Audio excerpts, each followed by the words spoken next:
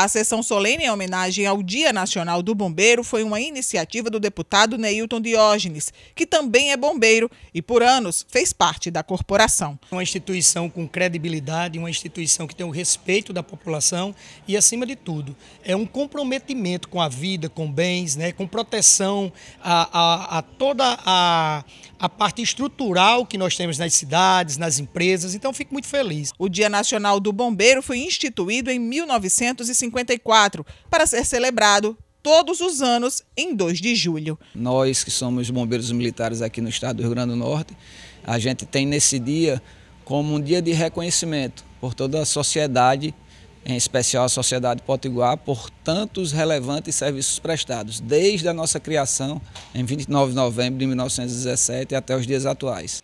Atualmente, o Corpo de Bombeiros Militar do Rio Grande do Norte tem 874 homens e mulheres que se dedicam a salvar vidas todos os dias.